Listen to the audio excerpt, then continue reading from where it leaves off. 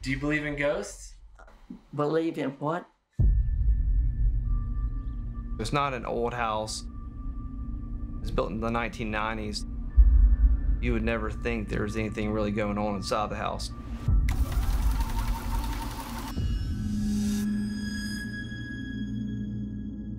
I remember coming home from work, deadbolting the door and going upstairs. And as soon as I got upstairs, you know, we heard bang.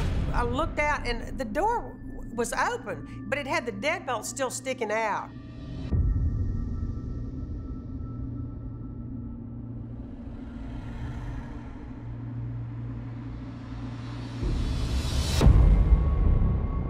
There's a lot of things that happen in this house that we can't explain.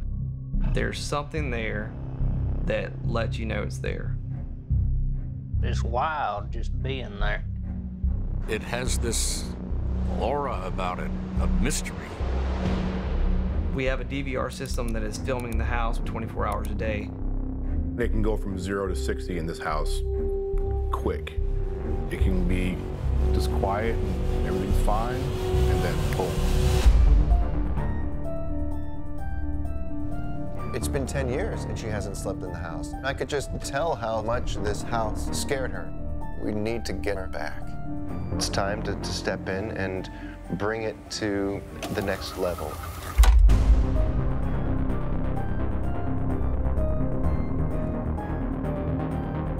Interesting. This I don't. I'm not sure. It's kind of a complicated question to, to be answered simply.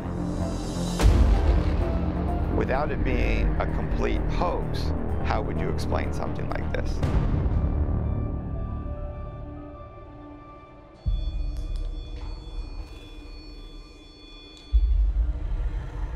Something's happening that I can't explain. Supernatural, natural, that's what we're trying to figure out. I'm 100% certain that it was the spirit of somebody in this house. Mm, There's no thinking to it, it was for sure. Give us some kind of physical sign that you're in the house and you can hear our voice. This is the evidence that we've been waiting to get.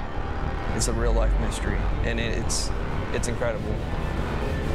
My stomach just got tight with knots.